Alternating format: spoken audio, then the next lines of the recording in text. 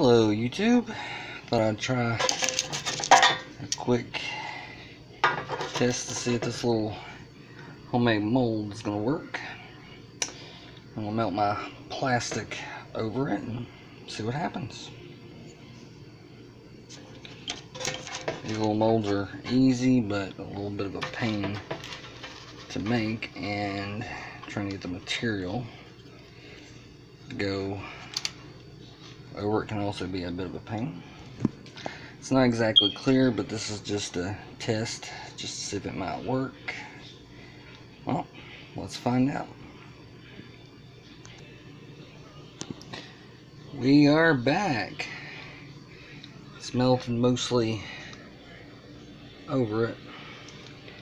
Got this right here. I'm going to try to fix a little bit. I have to pause the video again.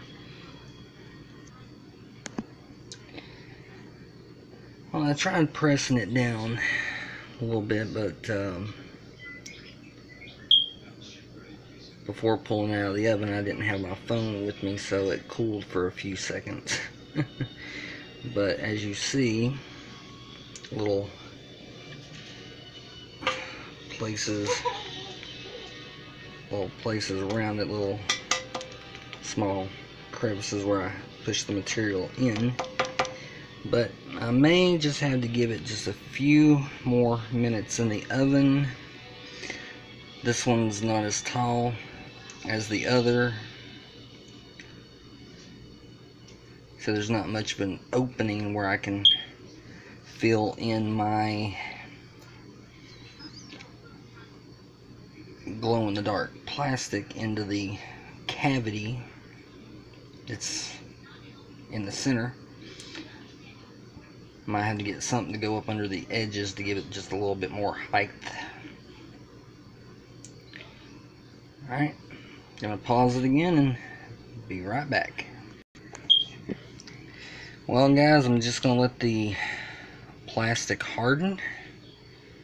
Then I'm gonna try to remove the mold from it and see what I got to work with, but um, it's not turn out as well as the last one did, but the last one that I, my last attempt, the material wouldn't, didn't cover the whole mold, so there was a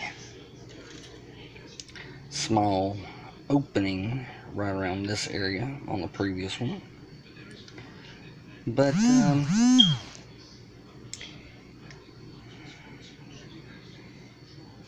I'll have to just make a brand new mold if I can't salvage this one. Well, wish me luck guys. Thanks again for watching. Please like, subscribe, and share. Thank you very much, and God bless.